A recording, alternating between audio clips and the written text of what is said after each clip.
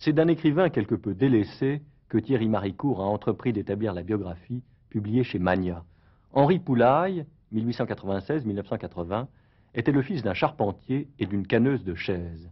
Né à Paris, rue de Charonne, il se lie à Victor Serge et aux anarchistes qui pratiquent le vol en automobile et l'attentat à l'explosif. Poulaille devient pourtant en 1923, et pour 33 ans, chef du service de presse de l'éditeur Bernard Grasset, dont il ne partage pas, c'est le moins qu'on puisse dire, les opinions politiques et artistiques. Poulaille déteste cordialement certains des grands auteurs maison, Monterland, Cocteau, Mauriac, et il ne se gêne pas pour le leur dire. Animateur de revues libertaires, pacifiste mal inspiré pendant la guerre, Poulaille croit généreusement à un leurre, la littérature prolétarienne, exigeant même de ses adeptes qu'ils pratiquent un métier manuel. Ce qui n'empêche pas cet autodidacte de livrer en 1931 un classique du roman authentiquement populaire, Le pain quotidien.